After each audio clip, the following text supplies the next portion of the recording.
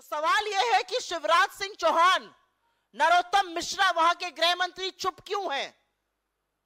इतने दिन बाद भी, पाँच दिन बीत गए। आज भी उस बच्ची की टोह लेने भाजपा का एक नेता नहीं गया है।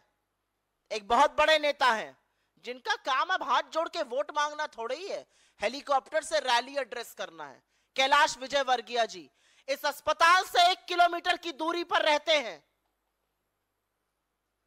लेकिन उस बच्ची की टोह लेने, उस बच्ची की खबर लेने ना मुख्यमंत्री गए, ना गृह मंत्री गए और ना कैलाश विजय वर्गीय गए जो लोकल हैं और वहाँ पर पास में रहते हैं।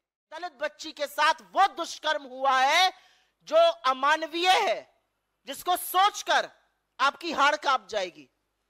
इन लोगों के पास बड़े बड़े इश्तिहार मध्य प्रदेश में लगाने का टाइम है, पैसा है। हेलीकॉप्टर से घूम घूम कर, उड़न खटोले से घूम घूम कर खूब रैली और भाषण बांचने का टाइम है। इनके पास कार्यकर्ता महाकुंभ करने का वक्त है। लेकिन इनके पास ये वक्त नहीं है कि उस अबोध बच्ची की टोह ली जा सके, उसके परिवार को सांत्वना दी जा सके, प्रशासन और पुलिस से उसके परिवार को वहाँ बुलाया जा सके। अंततो गतवा अखबार में फ़ोटो देखकर उसके दादा पुलिस में गए और उन्होंने कहा, ये हमारी बच्ची है। क्यों छुपाया जा रहा है कि वो दलित परिवार की है? क्यों छुपाया जा रहा है कि वो सत्ता की है? क्यों छुपाया जा रहा है कि पुलिस की निष्क्रियता और पुलिस के चलते पुलिस और प्रशासन का फेलियर है कि उस लड़की के साथ ये हुआ? अगर 24 घंटे पहले एफआईआर दर्ज हो जाती, अगर सीसीटीवी ट्रैक हो जाते, अगर वो बच्ची मिल जाती तो उसके साथ ऐसी अमानवीय ऐसी बर्बरता कतई ना होती। ये चुनावी महोत्सव मना रहे हैं। क्या है चुनाव? क्यों होते हैं चुनाव? चुनाव होते हैं कि वो जनप्रतिनिधि चुने जाए, जो सत्ता में आकर आपके दुख, आपके दर्द, आपकी पीड़ा, आपकी वेदना की बात करें, जो उड़न खटोलों पर घूमकर भाषण ना दें और बड़े नेता ना बने, जो उस बच्ची के लिए और उसके हक के लिए खड़े हों।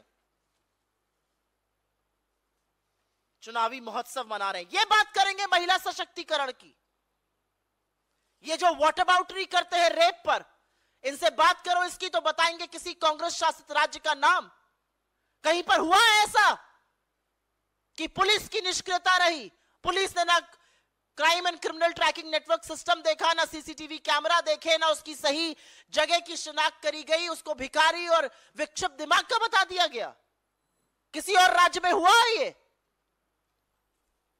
और मध्य प्रदेश में दलित, आदिवासी और महिला होना एक पाप हो चुका है। ये मेरा आंकड़ा नहीं है, ये आंकड़ा इस सरकार ने सदन में दिया है। तेरह लाख महिलाएँ लापता हुई पिछले कुछ सालों में। सबसे ज़्यादा संख्या मध्य प्रदेश की है। एक लाख साठ हज़ार एक सौ अस्सी महिलाएँ और अड़तीस हज़ार से ज़्यादा नाबालिग बच्चियाँ। नाबालिग के साथ दुष्कर्म में नंबर वन अगर कोई स्टेट इस देश की है तो वो मध्य प्रदेश है और शिवराज जी का जंगल राज है। 18 सालों में उनकी सत्ता रही। यह अलग बात है कि ना उनका एक नीति याद है, ना उनका नाम याद आता है प्रधानमंत्री को। 18 साल सत्ता में अट्ठावन हज़ार रेप के मामले सामने आए। मतलब हर दिन मध्य प्रदेश में आठ बलात्कार होते हैं। अड़सठ हज़ार अगवा होने के मामले सामने आए। मतलब तेरह बच्चियाँ, तेरह महिलाएँ रोज की प्रतिदिन अगवा की जा रही है, उनका अपहरण हो रहा है। यह बात करेंगे महिला सशक्तिकरण की। असलियत यह है कि चाहे आदिवासी के सिर पर पेशाब करने का मामला हो, जो भाजपा के नेता ने किया मध्य प्रदेश में, चाहे इस दलित बेटी के साथ ये मामला हो, चाहे आज सवेरे अभी इस दलित बेटी का मामला चल ही रहा है, उस पर लीपा पोती शिवराज का जंगल राज कर ही रहा है। एक और मामला सामने आ जाता है, एक आदिवासी महिला का, रेप और हत्या का। यह असलियत है मध्य प्रदेश की।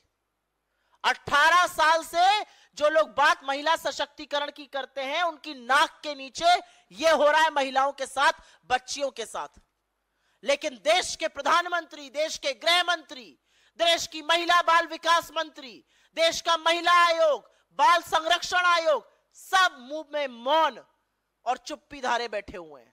शिवराज सिंह चौहान उड़न खटेलों से उड़ उड़कर भाषण बांच रहे उनके पास वक्त नहीं है इस बच्ची की खैर खबर लेने का।